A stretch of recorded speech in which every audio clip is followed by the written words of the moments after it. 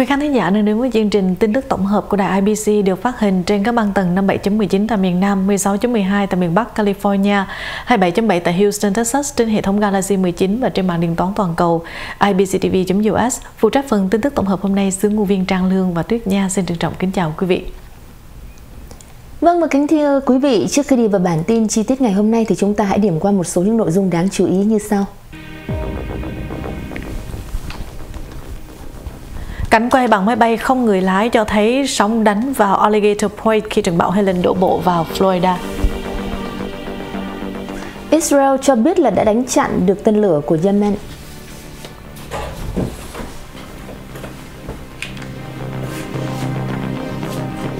Tổng thống Biden và Phó Tổng thống Harris giới thiệu chính sách hạn chế bạo lực về súng đạn.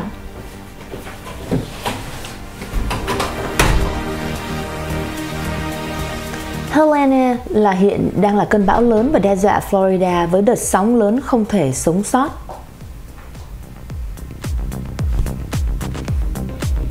Bão Zombie John tái xuất tấn công vào bờ biển Thái Bình Dương của Mexico.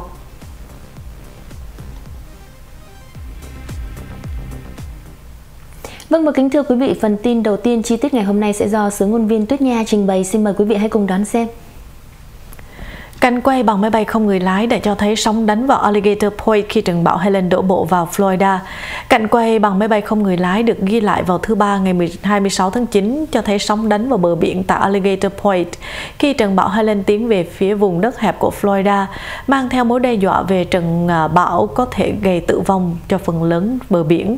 Trung tâm bão quốc gia cho biết cơn bão à, thành trận bão cấp 4 với sức gió liên tục gần 130 dặm một giờ và tiếp tục mạnh thêm. Giới chức Florida cho biết Helen đổ bộ vào khoảng 11 giờ tối theo giờ miền Đông thứ Sáu tại khu vực Big Bend tại Florida. Những trận mưa lớn đang hoàn thành tại một số khu vực ven biển và lượng mưa đã tấn công vào tiểu bang Georgia, South Carolina, miền Trung và Tây Bắc Carolina và một số khu vực Tennessee. Atlanta cách Big Bend của Florida hàng trăm dặm về hướng Bắc cũng trong tình trạng cảnh báo về bão nhiệt đới này. Kính thưa quý vị, Israel đã cho biết là đánh chặn được tên lửa của Yemen. Quân đội Israel cho biết họ đã chặn được một tên lửa được bắn từ Yemen sau khi nghe thấy tiếng còi báo động và tiếng nổ vào sáng sớm thứ Sáu ngày 27 tháng 9.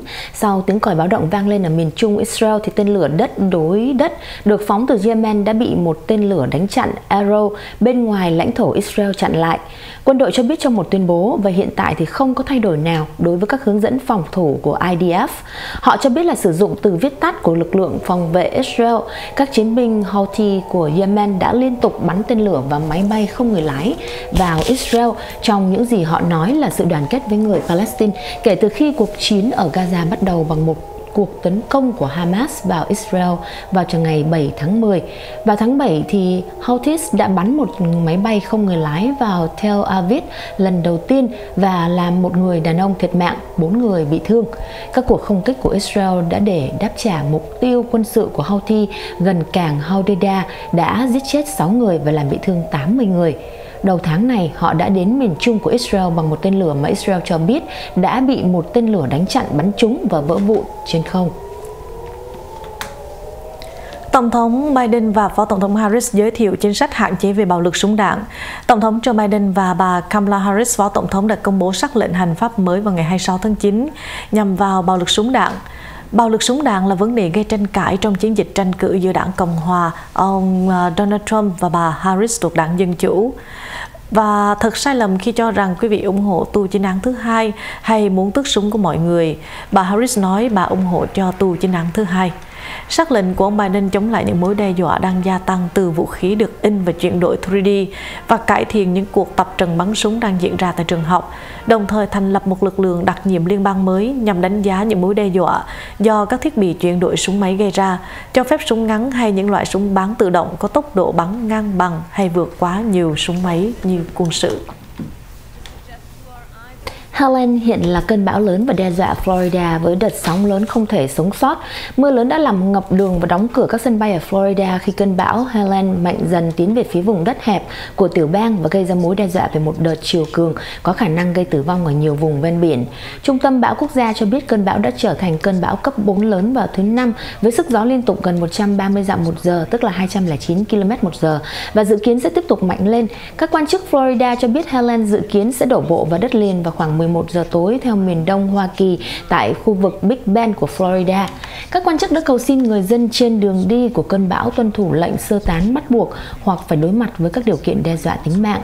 Đợt chiều cường do Helen, bức tường nước biển bị gió bão đẩy vào đất liền có thể dâng cao tới 20 feet tức là 6,1 mét ở một số điểm, cao bằng một ngôi nhà hai tầng và giám đốc trung tâm Michael Brennan cho biết trong một cuộc họp báo qua video, các giải mưa lớn đang tấn công một số vùng ven biển Florida và lượng mưa đã tấn công Georgia, Nam Carolina, miền Trung và miền Tây Bắc Carolina và một số vùng của Tennessee, ở Atlanta, cách Big Bend của Florida hàng trăm dặm về phía Bắc đang trong tình trạng cảnh báo bão nhiệt đới. Trong khi đó, trận bão ờ, John được mệnh danh là zombie tái xuất tấn công bờ biển Thái Bình Dương ở Mexico. Bão John mạnh lên một lần nữa vào ngày 26 tháng 9 khi trút những trận mưa lớn lên bờ biển phía tây nam Mexico, rải rác các khu cảng và những khu vực du lịch. Một à, số nơi bị ngập lụt bởi hệ thống bão di chuyển trong vài ngày qua. Bão John đã khuấy động một cách đáng sợ gần đoạn bờ biển kể từ thứ hai, suy yếu và mạnh lên một lần nữa khi nó tác động tới những cảng hàng hóa lớn, tạm thời đóng cửa phi trường địa phương và cướp đi sinh mạng của ít nhất là 5 người, chủ yếu do lỡ đất gây ra. Nhà khí tượng học là Tracy Farrell của AccuWeather gọi bão John là trận bão zombie. Thuật ngữ chỉ những hệ thống tan biến trước khi nó mạnh trở lại thành bão. Lần đầu tiên được cơ quan thời tiết quốc gia đặt ra vào năm 2020 ở Hoa Kỳ khi tàn dư của trận bão Paulette tái sinh gần Azores sau khi tấn công vào Bermuda. Bão John cũng đã trút mưa xuống tiểu bang Guerrero của Mexico vào thứ Năm sau khi tấn công vào tiểu bang này hồi đầu tuần trong à, một trận bão làm bật gốc cây, mất điện hàng chục ngàn người, gây ra lỡ đất chết người và phá hủy nhà cửa trong khu vực.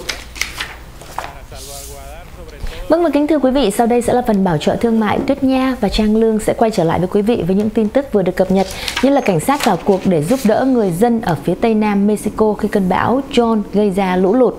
Cũng như là ông Donald Trump sẽ gặp uh, Tổng thống Zelensky của Ukraine và đưa ra ý tưởng thỏa thuận với Iran. Tiếng còi báo động vang lên ở thành phố Tel Aviv của Israel. Giá tour nội địa đắt đỏ, nhiều người chuyển hướng du lịch. Xin mời quý vị hãy tiếp tục đón xem.